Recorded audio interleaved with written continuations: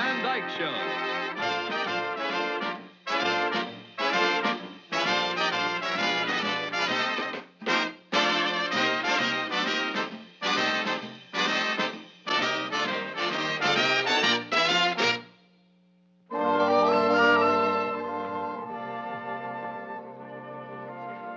Richie, what's this?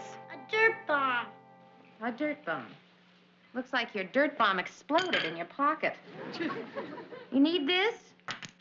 Yes, it's my lucky bottle cap.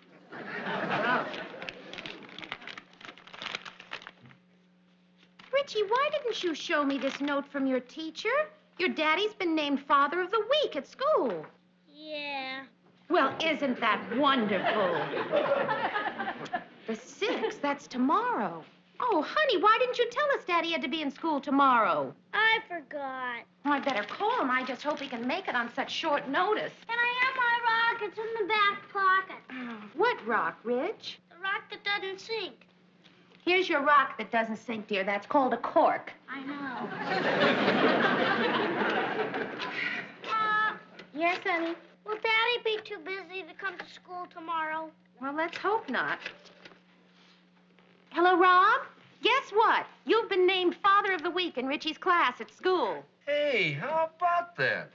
Well, gang, it looks like the Alan Brady Show is winning all the big awards this year. I have just been elected the Father of the Week. Ooh, and I forgot to vote. Father of the week, how do you get to be that? Well, first you start out by having a baby. Hey, honey, what do I get? My portrait done in finger paints? Well, I'll tell you all about it when you get home, dear. All you have to do is be there at 1.30 tomorrow afternoon. Tomorrow afternoon, honey. Couldn't you have told me about it sooner? We have a meeting tomorrow afternoon. Hey, Rob, Hold it, honey. why can't we have tomorrow's meeting today? Good idea. We can't. We're having yesterday's meeting today. Rob, why can't we have tomorrow's meeting yesterday and yesterday's meeting day after tomorrow? That's possible. Look, honey. Wait a minute, we can't.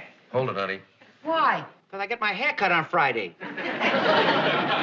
Why can't you get your hair cut on Thursday? I grow it on Thursday. Yeah, I forgot. Uh, whoa, gang, we'll work it out some way. Honey, we're trying to rearrange things. Well, I hope you can. Rich would die if you couldn't be there. Rob, if you could see him now, he's almost in tears. Oh, my. Honey, look, tell him we'll arrange it somehow, even if I have to cut Buddy's hair personally. Oh, no, you don't. Nobody cuts my hair but my gardener. Gardner? No wonder his head looks like crabgrass. It's good. Honey, don't worry, I'll be there. Oh, that's wonderful. You've just made a little boy very happy. See you tonight, honey. All right, goodbye. Bye. Hey, how about that? Father of the Week. Well, don't look so sad. Daddy's going to be there. I don't want Daddy to come. What did you say, Rich? I don't want Daddy to come to school tomorrow. You don't want Daddy to be there? No, Richie, why? because the father's got to tell about his work and little Daddy too. Well, honey, Daddy will tell about writing comedy for television. But he can't show nothing. Well, he could show something. Could he show how he types? Yes, he could show that. That's nothing to show. Well, how about Freddie's father? He's a dentist. What did he show?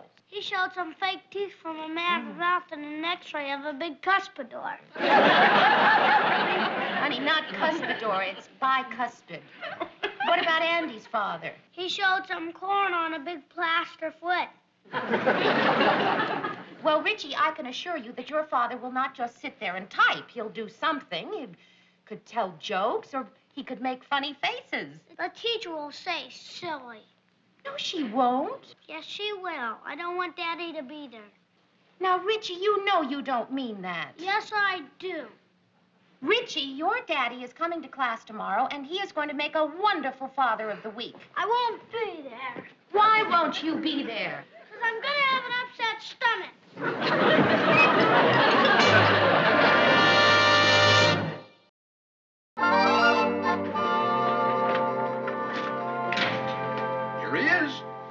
the father of the week. Give me a kiss. You're silly. Yeah, he is. Hey, don't I get a hello? Hello. What's the matter with Richie? That's the first time in his life he never came out and says, hey, didn't you bring me some? Well, Richie has a little problem. Well, a problem at his age, what do you do? Lose his lucky rock? No, it's a little more serious than that. Hey, your eyebrows are in the frown position. Is it that serious? Yes, I'd say so. Okay, what's the problem? Well, it's this father of the week thing. Richie's upset about it.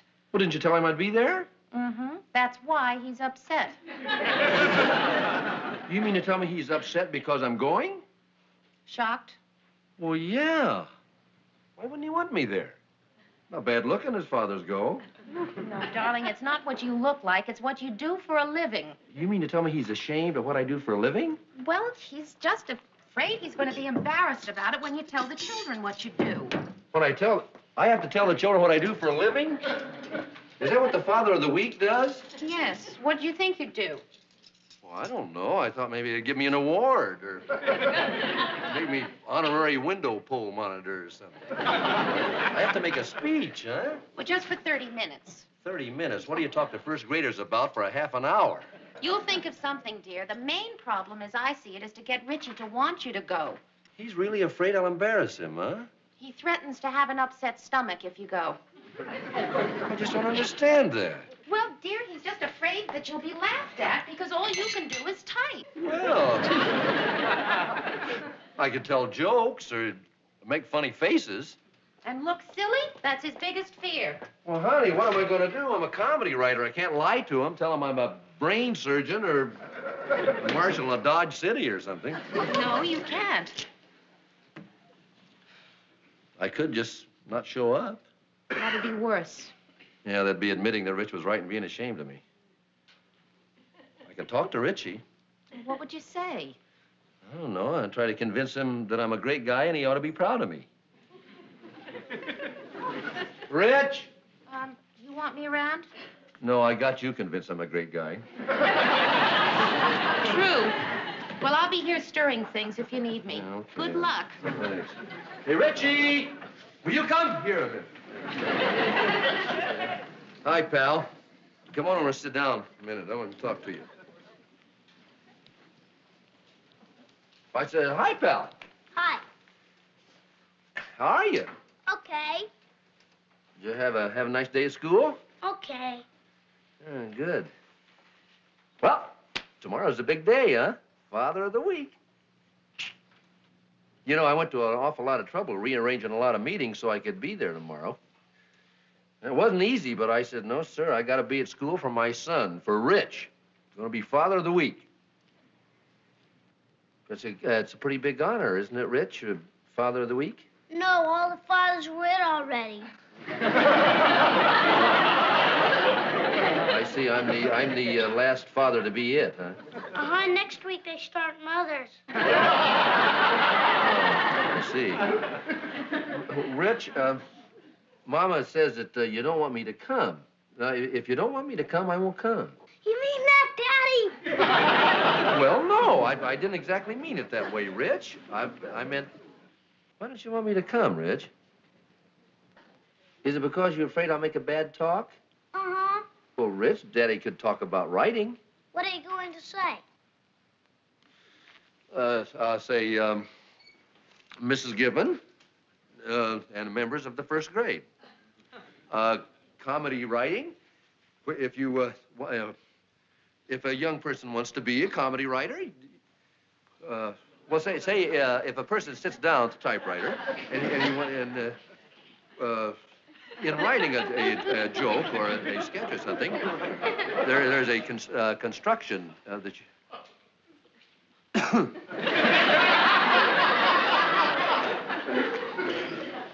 that the speech, Daddy? Well, uh, that's, uh, I haven't rehearsed it yet, Rich, but that's, the, that's going to be the uh, general theme. Rich, listen to me. There is no reason in the world why you shouldn't be proud of your daddy. Now, your daddy's a very good television writer and very well thought of, and I might add, very well known in the television industry. Now, I have been elected the Father of the Week, and I will come to your class tomorrow and accept that honor. And I forbid you to have an upset stomach.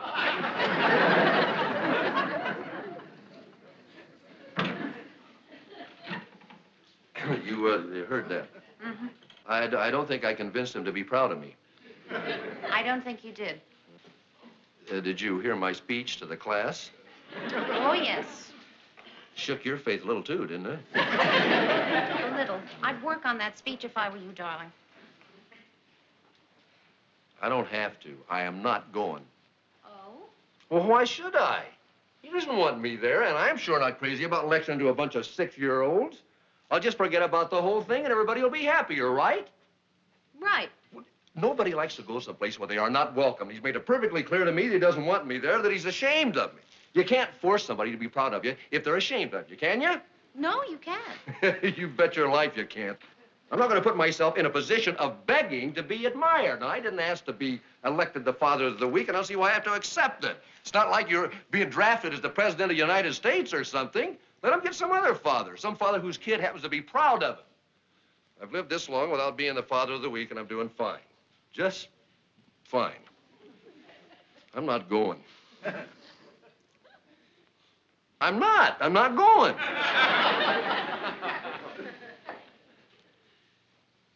How's this?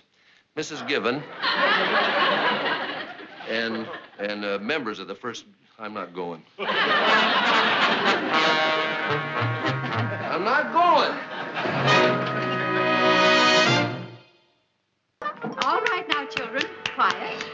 Come to order.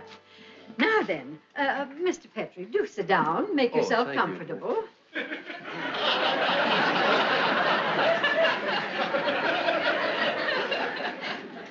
now then, class, we are about to meet Richie Petrie's daddy, who is our present father of the week.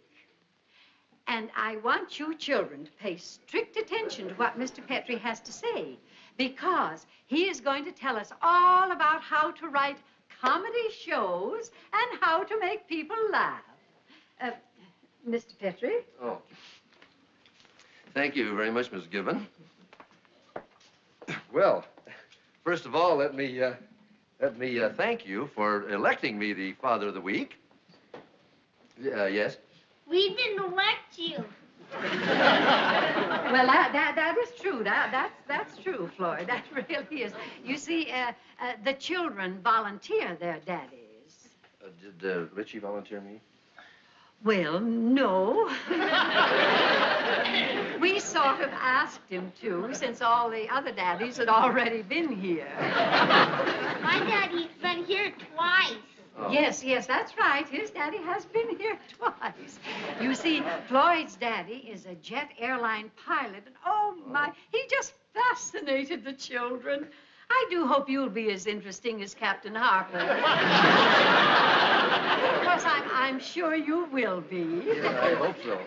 now, I'll just get my chair, and I'll sit Oh, down well, here. let me help you there, Mrs. Given. Oh, well, thank you. thank you very much. Now then, all right. Uh, now you step right up on the platform, and Thank you. we'll sit and listen to what you have to say. Well, uh, as I as I said, I am very happy to be here. As you all know, I, I am a comedy writer on the uh, Alan Brady Show. Uh, how how uh, many of you have seen the Alan Brady Show?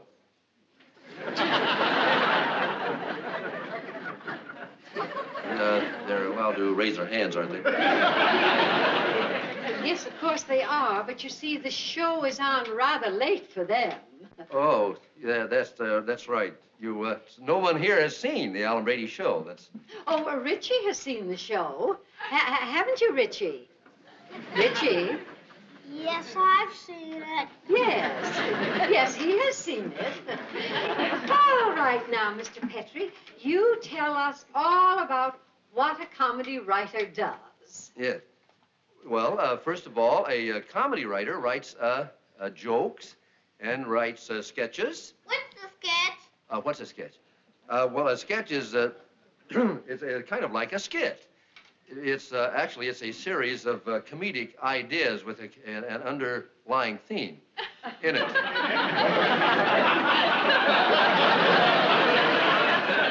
you you, uh, you, under, you don't understand that. I don't. You don't understand. Well, uh, uh, you see, a comedy writer writes jokes and uh, and uh, uh, things that make people laugh. Why? Why? Well, uh, because, uh, well, uh, people, people, uh, uh, like to laugh. Why? Why? Well, uh, you see, laughing, ma- laughing makes everybody, uh, feel good. Because, uh, you'll see, I feel good when I laugh, too. You, uh, you, uh, do laugh, don't you? Why, yes, of course they do. Why, when Captain Harper was here, he had them in stitches. he did tell some of the funniest stories. we had him here twice. it was so amusing. I wish I could have uh, been here.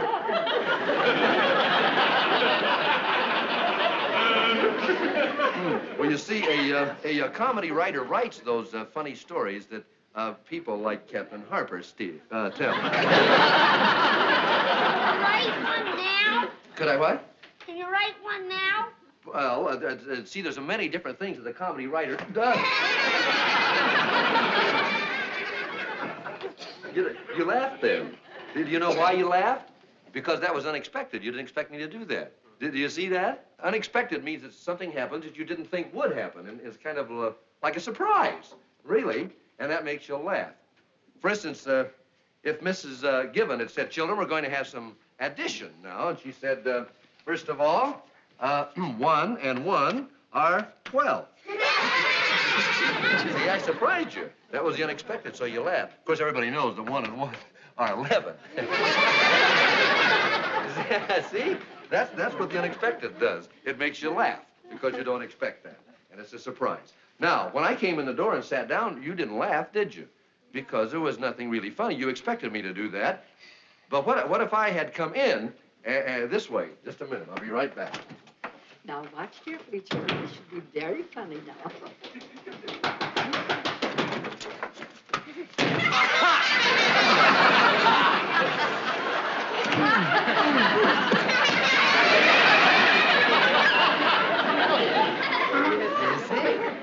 That was unexpected, and you laughed. So, that's one way of making people laugh. Touch you again. So you can surprise people and make them laugh. Now, another way to make people laugh is something familiar to them. If they see themselves or if they see something in other people that they recognize, they'll laugh at that too. Now, I'm going to do some movements for you. No words, just gestures, and you'll have to try and guess what it is I'm doing, all right? I'll move this light table back. Well, we'll, we'll have to. Oh. all right, now I'm going to just do some movements, and you have to tell me what I'm doing, all right? That's right. That's right. Shoes are on the wrong feet, that's right. Change it.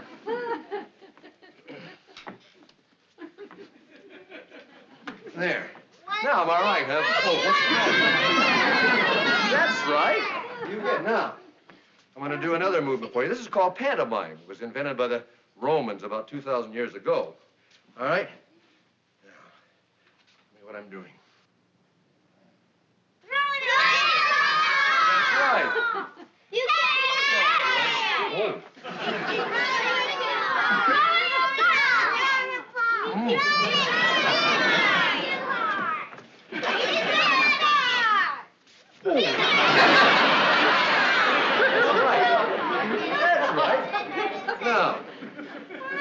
Now, what am I doing? Wait a minute. Bouncing a ball. I'll tell you what that is. That's a tennis ball. And I'm going to do, be a tennis player now. Left-handed tennis player. It's going to be in slow motion. Oh, yeah, it's a bad ball.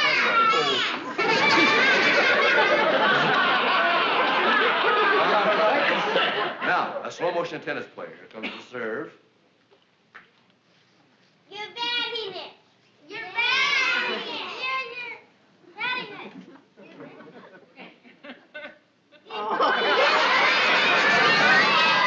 That's right. You went the wrong way, didn't it? All right, now, how many have ever been to the circus? Have you? All right, now I'm going to do a circus act. And first, you tell me what I'm doing now. The Climbing up the ladder, that's right. Oh! A lion bit me. okay, here we are at the top. Wait, hello, kids down there. Oh. What am I doing? Okay. Mhm. Well, I am afraid I'm going to fall.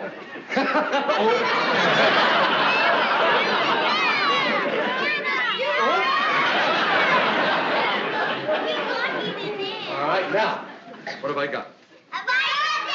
Somebody got a bicycle? Okay, I'm going across.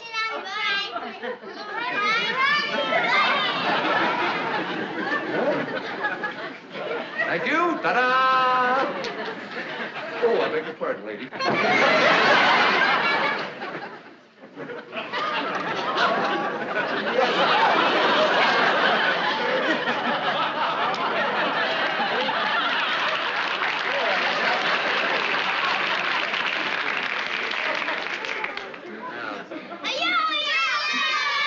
right. Round the world. Over the falls. Oh, boy. Oh, that's right. Oh, dear. The time is up already. Oh. Oh, Mr. Petrie, I can't tell you how much we enjoyed your little talk. Didn't we, children? Yeah! It was so entertaining and so informative. And of course, we could listen to you all day. But now we must all take off for recess. Shh, Children, children, please. My goodness. That's the first time I've ever heard them balk at recess. if we're very, very good, perhaps Mr. Petrie will come back sometime and pay us another visit. Hmm? Now then, children, say goodbye to Mr. Petrie. Bye, kids. All right, now. Class is dismissed. Thank you for having Richie, me. don't you Bye. want to stay? Bye. Okay, then. I All can't right, come home with boys, you come now. on now. You hurry come up. home You with won't me. have you won't have much time. Bye. Ah, come on, son. That's it. You know, Mr. Petrie, the next time I see the Alan Brady show, I'm going to watch for your name. Thank you. And I just want you to know. I say that I think you were much funnier than Captain Harper.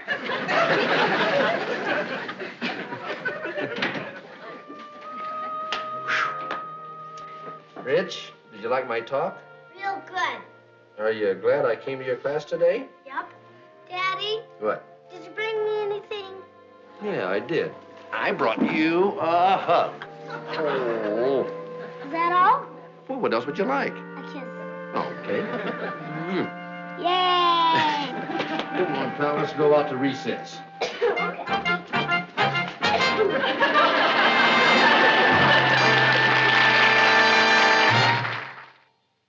Well, what did Daddy do? Nothing, but he was good. Did all the children like Daddy? Yep. But who liked Daddy the best? It was given. Mrs. Given, your teacher, liked Daddy the best? Hi, gang. Did you bring me anything, Daddy? As a matter of fact, I did. What is it, Daddy? That's my autograph. Yeah! Uh-huh, fooled you. You know why you laughed at that? It was unexpected. What are you talking about? That's just part of my lecture on the art of comedy writing. Well, Richie didn't tell me what you did, but from what I understand, Mrs. Given has decided that comedy writers are almost as good as people. You heard right. Well, what did you do to captivate her so? Well, the same thing I do to captivate you. Yeah, I ran up to her and I threw my arms around her. I said, Mrs. Given, I love you. If you don't give my boy good grades, I'll never do this again. That's pantomime. Oh, do that again. All right.